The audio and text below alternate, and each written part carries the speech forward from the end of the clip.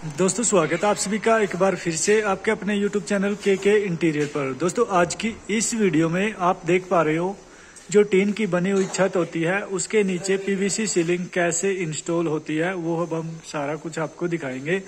तो जैसे कि अभी आप देख पा रहे हो, ये टीन की बनी हुई छत और इसके नीचे हमने लोहे का जाल बाँध रखा है वायरिंग हो रखी है और अब हमने मैक्सिमम 70 परसेंट पीवीसी पैनल को इंस्टॉल कर दिया है। तीस एक परसेंट हमारा सिर्फ़ काम बाकी है।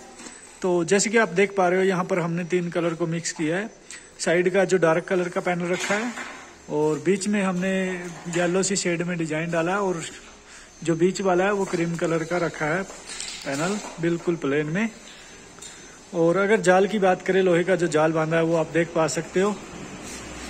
ये हमने पूरे के पूरे साठ इंच में चार चार सपोर्टें लगाई हैं। और पूरे के पूरे पैनल में छह छह स्पॉटें लगाई हैं। तो आप इस प्रकार से देख सकते हो। और डिज़ाइन देखिए आप, ये बहुत ही बड़ा एरिया है। 25 बाई अपना 25 बाई 32 का एरिया है ये। तो इसमें ये वाला डिज़ाइन बना है। और अगर लोकेशन की बात करें तो आप इस लोकेशन को, ये शिमला की लोकेशन है। तो मैं आपको वो भी दिखा देता हूँ। देखिए आप, ये कुछ लोकेशन है यहाँ की शिमला की। तो यहाँ पर ये पीवीसी का जो काम है, वो करने का हमें मौका मिला और हम यहाँ पर आए। और ये सारा का सारा हमारा जो काम है ऑनलाइन चलता है। तो हम तो आप अगर कोई भी काम करवाना चाहते हो तो आप काम करवा सकते हो। डिस्क्रिप्शन में आपको नंबर मिल जाएगा। और पीवीसी से रिलेटिव अगर आपको कोई जानकारी चाहिए, तब भी आप बेझिझक कॉल कर सकते हो। बिल्कुल आपको अच्छे से जानकारी दे दी जाएगी। और अगर आपको काम करवाना चाहते हो, तब भी आप हमें कॉल कर सकते हो। और टीन के नीचे अगर आप छत सीलिंग करवाना चाहते हो तो बे मतलब करवा सकते हो, बिल्कुल अच्छे से सीलिंग होती है।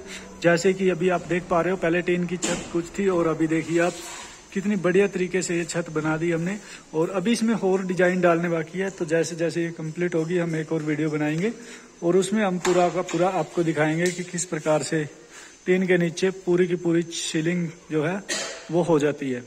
तो दोस्तों, वीडियो में दी गई जानकारी आपको कैसी लगी, कमेंट करके ज़रूर बताना और चैनल को सब्सक्राइब कर लेना ताकि आने वाली वीडियो की नोटिफिकेशन आपको सबसे पहले मिलती रहे।